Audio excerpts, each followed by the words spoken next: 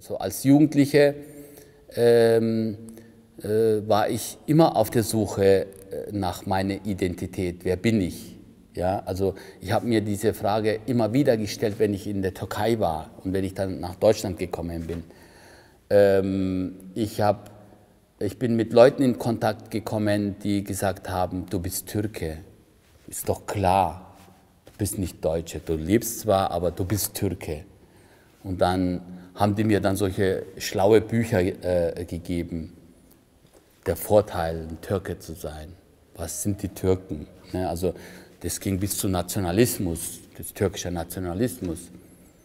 Ich hatte aber Gott sei Dank parallel dazu die türkische, äh, die, die deutsche Geschichte äh, äh, gerade in der Schule äh, äh, gelesen, dass die Nationalismus, die Gedanken zu Nationalismus zu furchtbaren Dingen äh, geführt haben.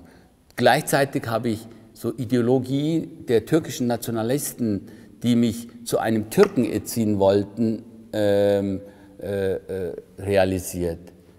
Ich bin dann mit denen sogar mitgelaufen, wo ich gesagt habe, ja, also eigentlich bin ich Türke.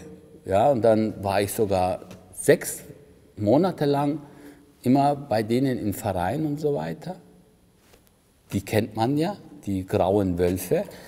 Ähm, also ich habe ähm, einen kennengelernt, der aus Kayseri auch kam, also aus unserer äh, äh, Stadt, wo ich äh, geboren bin. Ähm, der hat ähm, an der Grenze, wir, wir waren im gleichen Flieger, äh, an der Grenze ähm, äh, konnte er sich nicht artikulieren. Ich, ich saß direkt hinter ihm, oder stand hinter ihm, und dann habe ich ihm geholfen. Und ich habe ihn, äh, ähm, ihn so weit geholfen, dass er tatsächlich, es war schwierig äh, vor den Beamten, äh, äh dass er überhaupt äh, rein konnte. Und ich habe ihm so lange äh, übersetzt und gedolmetscht, dass er dann reingekommen ist in, in, in die Bundesrepublik. Und das hat er sich dann, er hat sich dann gedacht, er muss mir irgendwie äh, helfen. Und wir sind dann Freunde geworden. Es war wirklich so, dass wir uns dann immer getroffen haben und es war eine gute. Und für mich war das was ganz Tolles, weil jemand da war, der so die Türkei äh, mir erzählt hat. Der war so und er hat, er war religiös und ähm, und dann habe ich auch angefangen zu beten ich habe äh, äh, angefangen zu fasten. Und dann hat er gesagt, ja du, äh, äh willst du nicht äh, mit mir mitkommen? Es gibt einen Verein, da ähm, treffen wir uns, wir singen und machen und so. Und dann bin ich da mitgegangen. Das war irgendwie, damals kann ich mich erinnern, das war total nett, weil jemandem zuzugehören, das war ein schönes Gefühl. Und diese Sehnsucht, Türkei und Türke, das war groß in mir.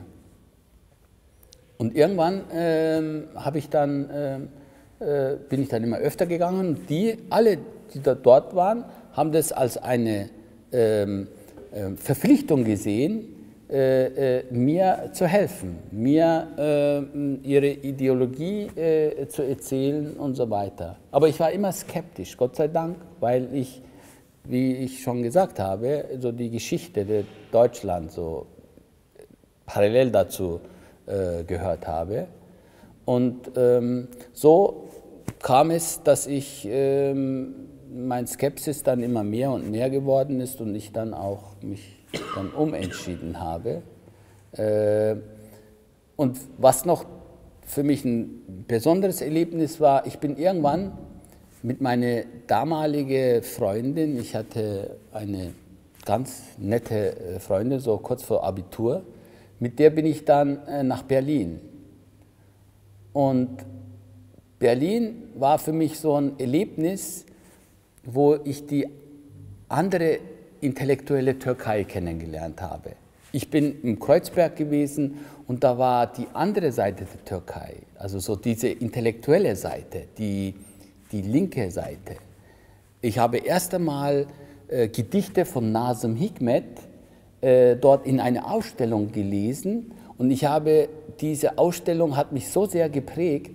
Das hieß damals noch das war eine Fotoausstellung, äh, äh, morgens Deutschlands, abends Türkei. Weil es ging um dieses, dieses Leben in Berlin, wo man tagsüber äh, äh in Deutschland war, aber abends dann in die äh, Türkei sich zurückgezogen hat.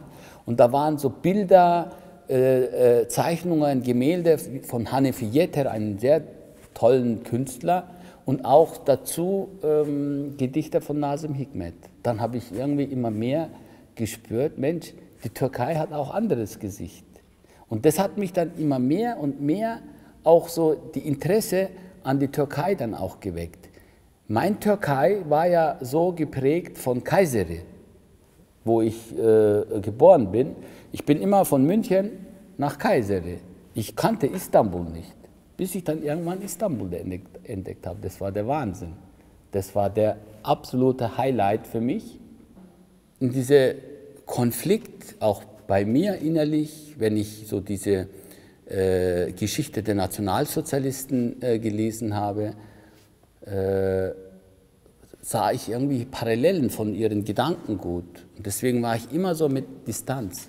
Und irgendwann war so ein Schlüsselerlebnis wiederum in dieser Identitätsfindung bei mir, wo ein Funktionär von dieser Gruppe äh, nach Deutschland gekommen ist, nach München, der so eine große Kundgebung äh, äh, machen wollte.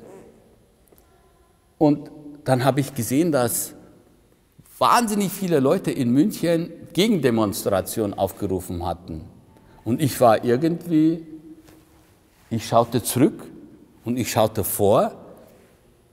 Die Leute, die vor mir waren, die gegen uns demonstriert haben, waren eigentlich die Leute, mit denen ich immer zu tun hatte, die mir am sympathischsten waren und die auch meinen Gedanken auch ähm, äh, teilten. Und dann habe ich erst einmal gespürt, dass ich auf der falschen Seite bin. Und äh, ja, also diese Hin und Her hätte auch anders äh, äh, ausgehen können. Und das erleben wir ja jetzt noch ganz aktuell.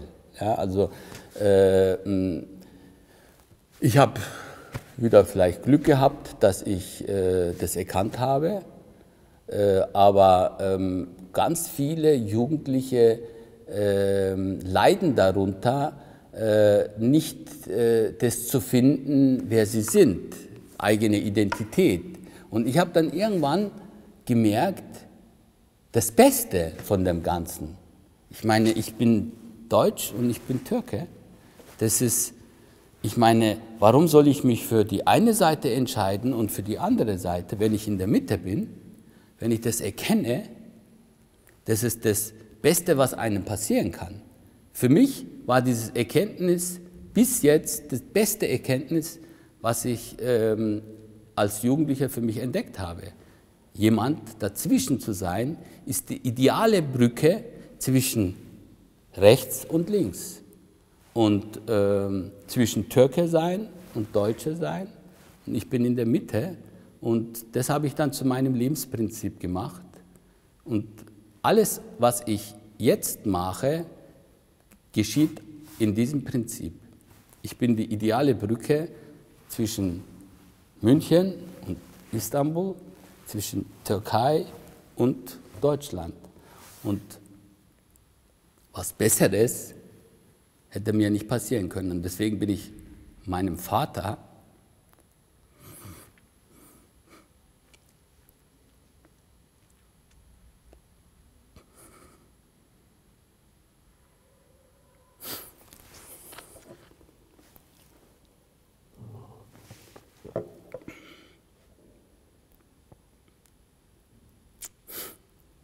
sehr, sehr dankbar.